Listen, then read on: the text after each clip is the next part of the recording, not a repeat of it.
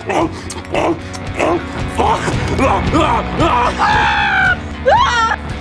Mom, are you excited for the baseball game today?